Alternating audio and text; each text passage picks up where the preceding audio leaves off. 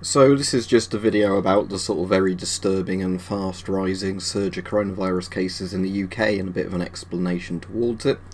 So basically in the UK we have two strains of coronavirus now and the second strain, a mutation, is far more virulent than the, um, sort of far more contagious than the original COVID-19 strain we had.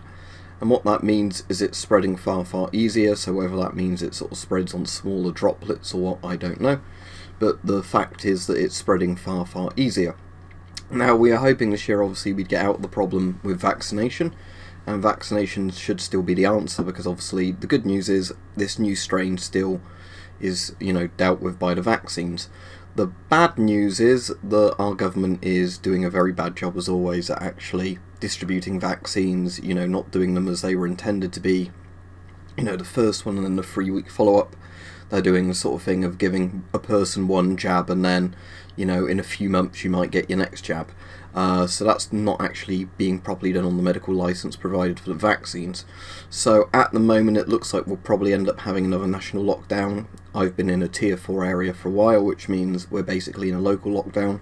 But I think 80% of uh, at least England at the moment is in sort of tier 4 restrictions and tier 3 and tier 4 restrictions are basically like you know where you can't go out and do a lot of things because lots of non-essential businesses have to close.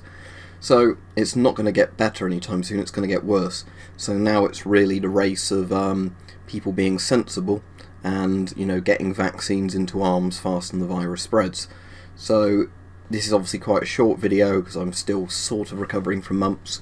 Um, but yeah I'll be back to doing normal videos more regularly but this is just something I wanted to make people aware of because it seems some people aren't actually aware there's multiple strains of coronavirus spreading now.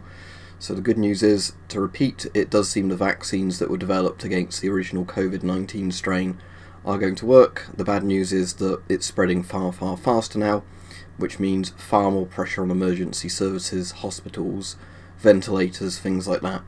So um, what they were dreading would happen in the first wave that didn't happen seems to be happening now in the second or third wave, whatever we're in, because this new virus is spreading much faster and filling hospitals to capacity.